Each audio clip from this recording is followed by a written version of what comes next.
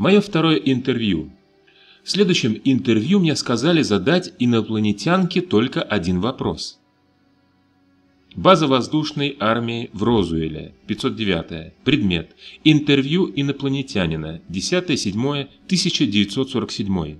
Вопрос. Почему вы прекратили общаться? Инопланетянка не могла общаться с ними, потому что они боялись ее или не доверяли ей. И мне ясно, что инопланетянка знает, что некоторые люди имеют какие-то секретные намерения и скрывают их реальные мысли. Для меня одинаково очевидно, что в этом отношении у инопланетянки нет даже крошечного страха перед нами или чем-либо еще. Личные сообщения Матильды О'Доннелл Макелрой. Я обдумывал слова, которыми я хотела описывать значение мыслей инопланетянки, очень тщательно прежде, чем сообщила стенографистке и людям, которые ждали с тревогой в другой комнате. Лично я вообще никогда не чувствовал страха или недоразумения инопланетянки. Я была очень-очень любопытна и взволнована всем, что могла изучить о ней. Однако, как у инопланетянки, у меня не было большого доверия или уверенности в агентах или авторитетах, кто контролировал мои интервью. Я не имела понятия об их намерениях к ней, однако я уверена, что офицеры были очень озабочены наличием инопланетного космического корабля и пилота в их руках – в тот момент меня больше всего беспокоило то, как мне более ясно понимать мысли и идеи инопланетянки. Я думаю, что как телепатический приемник я выполнила все вполне прилично, но не столь хорошо, как телепатический передатчик. Я отчаянно хотела найти лучший путь общения с инопланетянкой, который позволил бы растущему легиону правительственных чиновников понять ее более непосредственно, без необходимости полагаться на мою интерпретацию ее мыслей. Я не чувствовал себя достаточно квалифицированной, чтобы действовать как переводчик. Все же я была единственным человеком, с которым стала бы общаться инопланетянка. Таким образом, от меня зависело выполнение этой работы. Я также поняла, что это было, вероятно, самым большим событием в истории Земли, и что я должна гордиться причастностью к этому. Конечно, к тому времени весь инцидент официально отрицался в прессе и прикрытие огромным количеством вооруженных сил – и силовиков уже началось. Однако я начала чувствовать давление, ответственности за то, чтобы быть первым человеком на Земле, насколько я знала, который общался с внеземной формой жизни. Я думаю, что знаю, что должно быть чувствовал Колумб, когда он обнаружил новый мир. Но я собираюсь обнаружить полную новую, неизведанную Вселенную. В ожидании следующих инструкций от моих начальников я пошла домой в сопровождении нескольких очень вооруженных военных полицейских – меня также сопровождали несколько других мужчин, одетых в черные костюмы и галстуки. Когда я проснулся утром, они были все еще там. После завтрака, который был принесен мне домой, они сопроводили меня назад в офис на базу, которая использовалась для интервью. Глава 3. Мое третье интервью. Личные сообщения Матильды О'Доннелл Макенрой. Третье интервью и все последующие интервью, которые я имела с инопланетянкой, наблюдались и регистрировались, как я упоминала выше, десятками других людей. Хотя они физически не присутствовали, они наблюдали из специальной соседней комнаты, зеркальным окном, пропускающим свет в одну сторону, через которое можно было наблюдать интервью, не беспокоя инопланетянку. Инопланетянка была перемещена в эту, недавно сделанную комнату и усажена на обычный мягкий стул, покрытый цветочной тканью. Я уверена, что кого-то послали в город, чтобы купить стул в самом ближайшем доступном мебельном магазине. Тело инопланетянки было таким же, как тело очень худого пятилетнего ребенка, поэтому она затмевалась стулом. Так как ее тело не было биологическим, оно не нуждалось ни в какой еде, воздухе или тепле, и очевидно, она не спала. У нее не было никаких век или бровей над глазами, и поэтому глаза не закрывались. Я не думаю, что кто-то мог определенно сказать, спала ли она или нет пока она сидела вертикально на стуле. Если она не двигалась или не жестикулировала рукой, сложно было сказать, была ли она даже жива или нет, если только вы не чувствовали ее мысли. В конечном счете я поняла, что инопланетянка идентифицировала себя не телом, а, так сказать, ее индивидуальностью. Она была известна в своих кругах как Эйрл. Это самое близкое слово, которое я могу использовать, чтобы описать имя, используя английский алфавит я поняла, что она предпочла женский пол. Я думаю, что мы разделили естественное женское сочувствие и лелеющее отношение к жизни и друг другу. Я уверена, она не чувствовала себя комфортабельно среди боевых, агрессивных, властных офицеров мужского пола и агентов, каждый из которых был более обеспокоен их собственным личным самомнением и властью, чем с обнаружением тайны Вселенной. Когда я вошла в комнату, она была очень рада видеть меня. Я испытывала очень искреннее чувство признания, облегчения и теплоты от нее. Это походило на нетерпеливое волнение и безоговорочную платоническую привязанность, которую каждый чувствует от собаки или ребенка, но более спокойным и под контролем. Я должна сказать, что была удивлена тем же самым чувством привязанности к инопланетянке, несмотря на то, что мы провели так мало времени друг с другом. Я была рада, что смогла продолжить свое интервью с ней, несмотря на все внимание, которое мы получали от потока правительственных и военных людей, прибывающих на базу. Было сразу видно, что люди, которые написали следующую серию вопросов для меня, хотели понять, как общаться с инопланетянкой самостоятельно, не имея необходимости привлекать меня. Вот ответы на новый список вопросов. База воздушной армии в Роузуэле, 509 11.07.1947. Вопрос. Вы можете читать или писать на каком-либо земном языке? Ответ. Нет. Вопрос. Вы понимаете числа или математику? Ответ. Да. Я офицер, пилот, инженер. Вопрос. Вы можете написать или нарисовать символы или изображения, которые мы сможем перевести на наш собственный язык? Ответ. Сомнительно.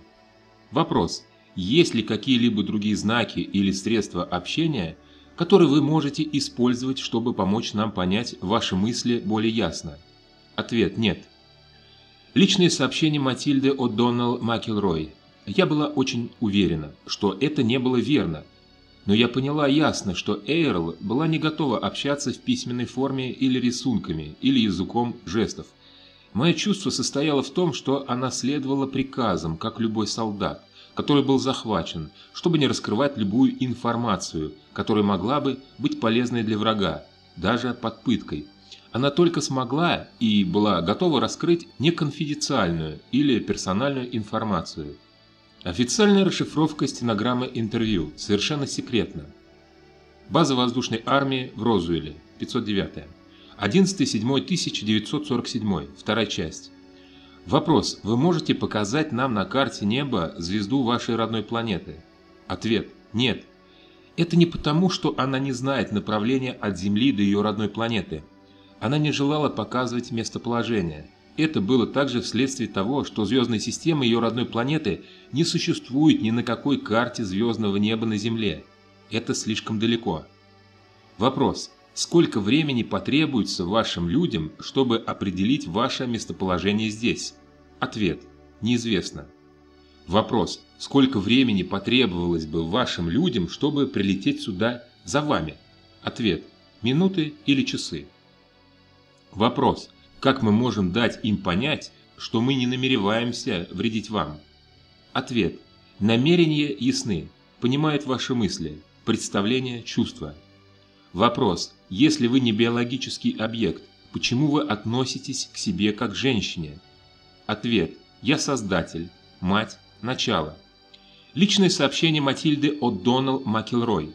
Мне потребовалось всего несколько минут, чтобы закончить. Я поняла тогда, что у нас могут быть серьезные проблемы, если инопланетянка не была готова сотрудничать или давать любую информацию – которая, как полагают, была бы полезной для вооруженных сил или спецслужб или ученых.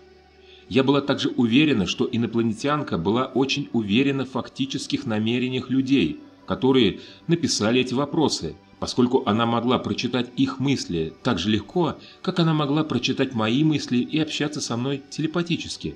Из-за этих намерений она не желала и была не способна сотрудничать с любым из них, в любом случае, при любых обстоятельствах. Я полностью уверена, что так как она не была биологической формой жизни, не было никакого вида, пытки или принуждения, которое могло заставить ее передумать. Глава 4. Языковой барьер. Личные сообщения Матильды О'Доннелл Макенрой. После того, как я объяснила агентам разведки, что я думала о причинах молчания вместе ответов, они расстроились и началась суматоха. Началась очень горячая дискуссия между несколькими офицерами разведки, военными офицерами, психологами и языковыми переводчиками. Это продолжалось в течение нескольких часов.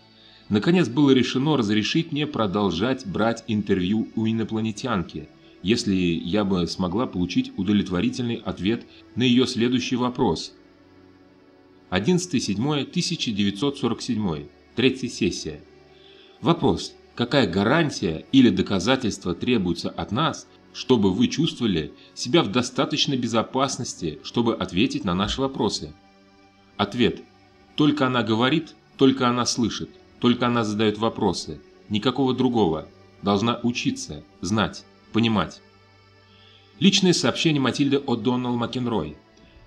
Когда я возвратился из кабинета, чтобы сообщить об ответе инопланетянки на этот вопрос, Присутствующие агенты и военные восприняли меня мрачно и скептически. Они не могли понять то, что инопланетянка подразумевала под этим.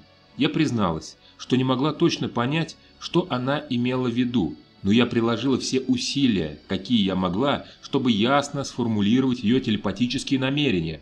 Я сказал офицерам, что, возможно, проблема общения имела отношение к моей неспособности понимать телепатический язык инопланетянки, достаточно ясно для понимания. Из-за этого была настолько лишена уверенности в себе, что почти испытала желание все бросить. И теперь аргументов против меня было даже больше, чем прежде. Я была уверена, что буду отстранена, несмотря на то, что инопланетянка отказалась общаться с кем-либо еще, или что никого больше не было найдено, кто мог бы общаться с ней. К счастью, один очень умный парень по имени Джон Ньюбл, который был японским языковым специалистом из американского флота, объяснил и решил эту проблему. Он объяснил, что, во-первых, проблема имела небольшое отношение к неспособности инопланетянки общаться, скорее это было больше похоже на ее нежелание общаться с любым, кроме непосредственно меня. Во-вторых, для того, чтобы ясно и всесторонне общаться, обе стороны должны были найти общий язык, который они будут понимать и общаться с его помощью, Слова и символы в языках передают очень точные понятия и значения. Он сказал, что у японцев есть много амонимов на их языке, которые создают много беспорядка в повседневном общении. Они решили эту проблему использованием стандартных китайских знаков, чтобы записать точное значение слов, которые они используют. Это улаживает их вопросы. Без определенного набора знаков коммуникации невозможно даже элементарного понимания между людьми и собаками или между двумя маленькими детьми. Нехватка общего словаря ясных определенных слов, которые обе стороны могут использовать взаимно, была ограничивающим фактором связи между всеми людьми, группами и странами. Поэтому он предложил два варианта. Я должна была учиться говорить на языке инопланетянки, или инопланетянка должна научиться говорить на английском языке. Фактически выбор был единственным.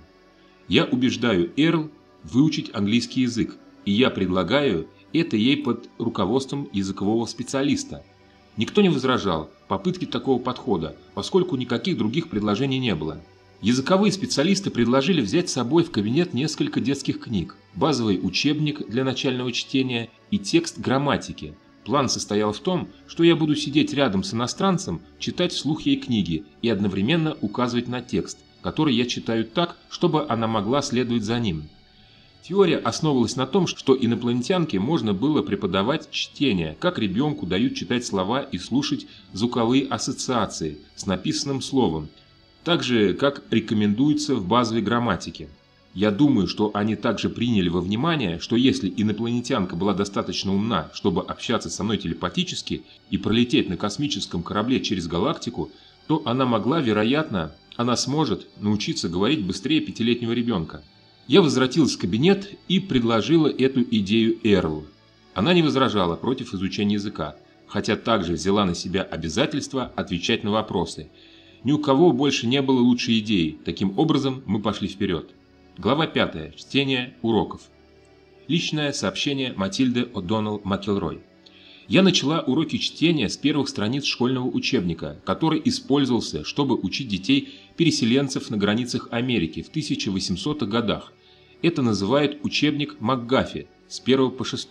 Так как я медсестра, а не учитель, языковой эксперт, который дал мне книги, также провел со мной обширный курс обучения, занявший весь день, о том, как использовать книги для обучения инопланетянки. Он назвал причину, по которой он выбрал эти особые книги. Она выбрала потому, что оригинальная версия этих книг от 1836 года использовалась на протяжении трех четверти столетий, чтобы научить 4 пятые всех американских школьников читать. Никакие другие книги никогда не имели так много влияния на американских детей так долго. Образовательный курс Макдафи начинается с учебника для начинающих, показывая буквы алфавита, которые будут последовательно запоминаться, Тогда это преподавали детям, шаг за шагом, используя стандартные блоки языка, чтобы сформировать или озвучивать слова голосом, что вовлекает обучающих детей в объединение звука с буквами.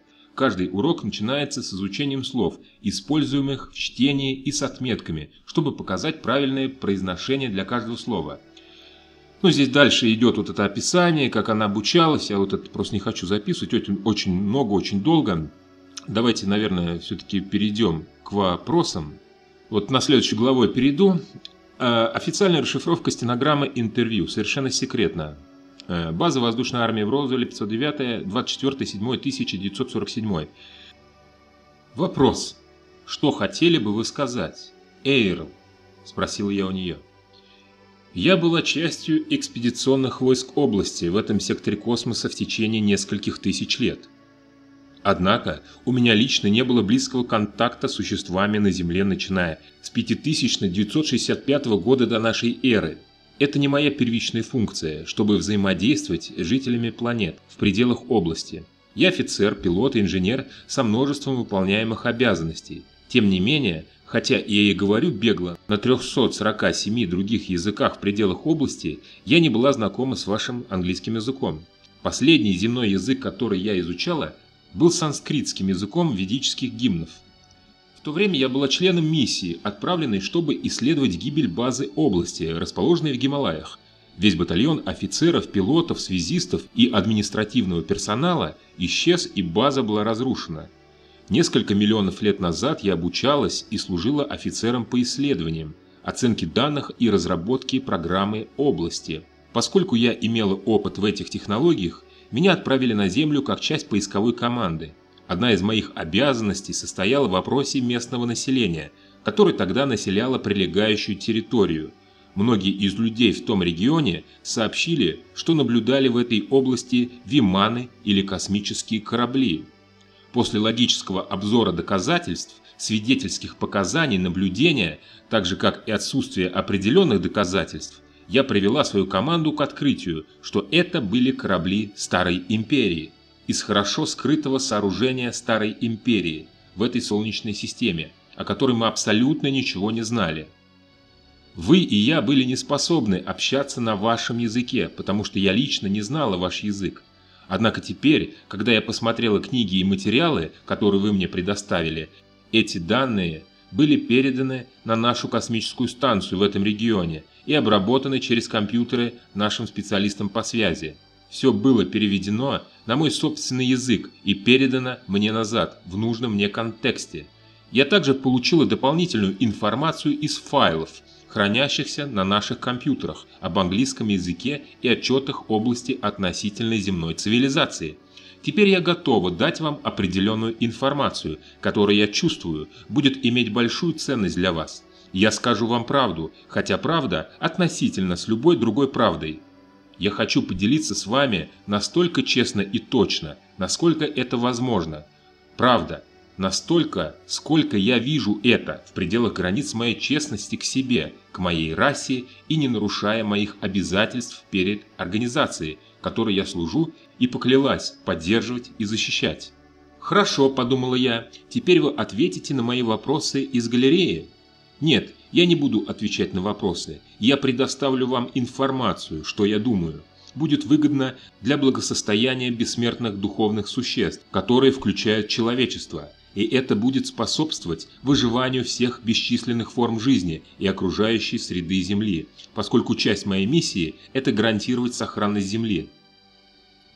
Лично это мое суждение, что все разумные существа – бессмертные духовные существа, включая людей, ради точности и простоты я буду использовать искусственное слово «я быть», поскольку основная природа бессмертного существа – «я», в том, что они живут в состоянии вне времени, и единственная причина их существования состоит в том, что они решают быть, независимо от того, насколько непритязательно их состояние в обществе.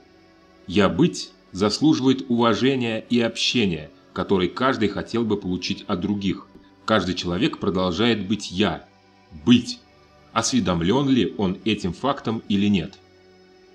Личное сообщение Матильды от Донал Макелрой. Я никогда не забуду эту беседу. Ее тон был очень сух и бесчувственен, однако впервые я ощутила присутствие теплой и реальной индивидуальности в Эйрл. Ее ссылка на бессмертные духовные существа ударила меня как вспышка света в темной комнате. Я прежде никогда не полагала, что человек мог бы быть бессмертным существом. Я думала, что статус или сила была закреплены исключительно за Отцом, Сыном и Святым Духом, и потому, что я набожная католичка и почитаю Слово Господа Иисуса Христа и Святого Отца, я бы никогда не подумала о любой женщине, как о бессмертном, духовном существе, даже о Святой Матери Марии. Кроме того, когда Эйрл передала эту мысль, я впервые ярко увидела, что она персонально была бессмертным духовным существом, и мы такие же. Эйрл сказала, что она ощутила, что я была смущена этой мыслью.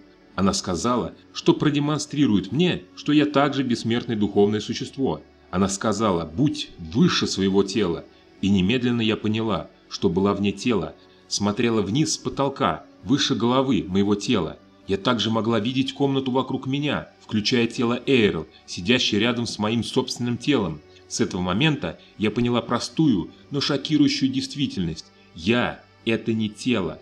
В тот момент поднялась черная завеса, и впервые в жизни я поняла, что я не моя душа, а что я – духовное существо. Это было необъяснимым крещением, но тем самым, которое наполняло меня радостью и легкостью, которой я не испытывала никогда прежде.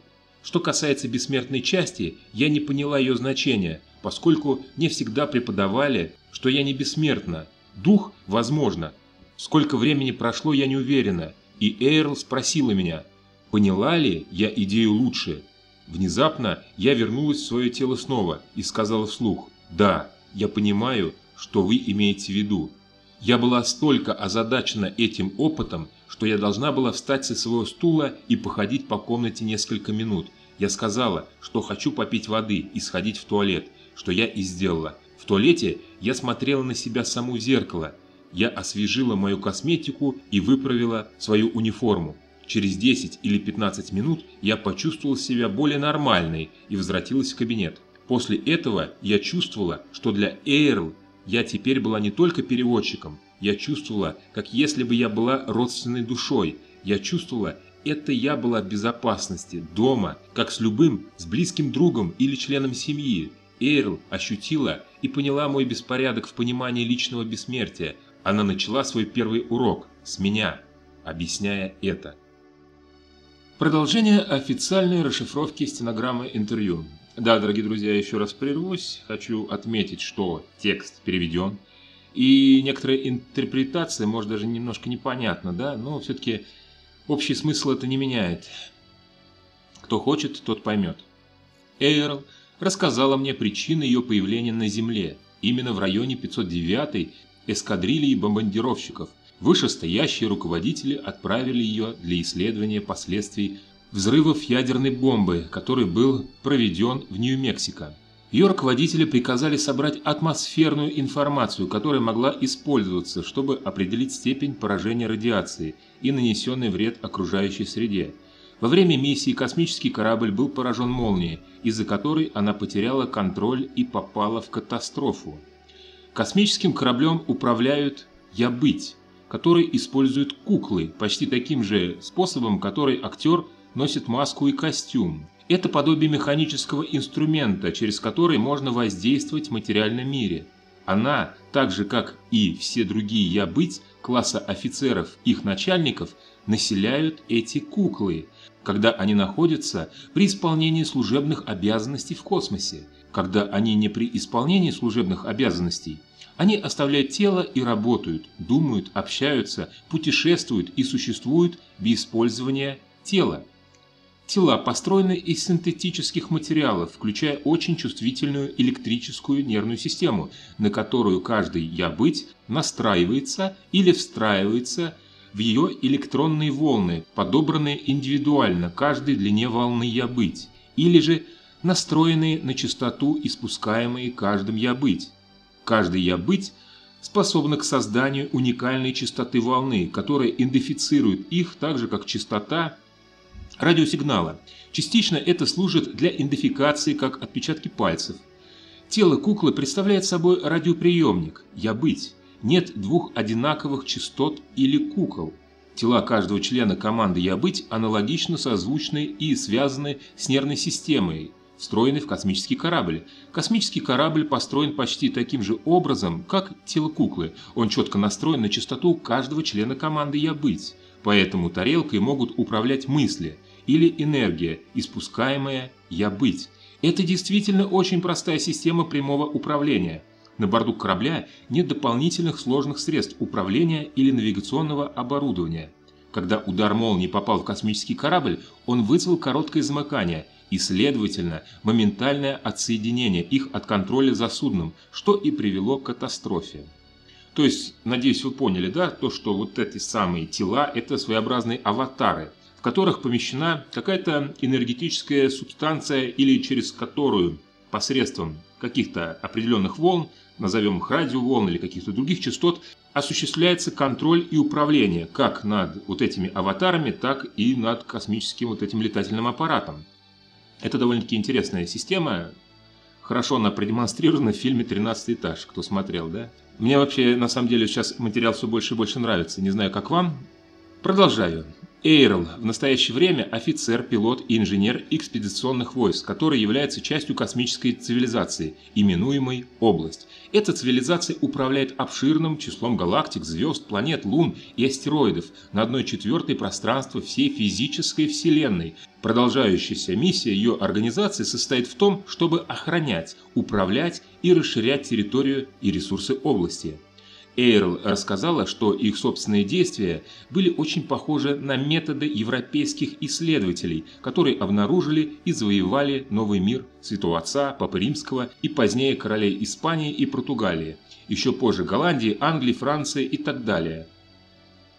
Ну и имеется в виду, конечно, колонизация европейскими странами других менее развитых стран – Дальше. Европа извлекла выгоду из имущества, приобретенного у коренных жителей.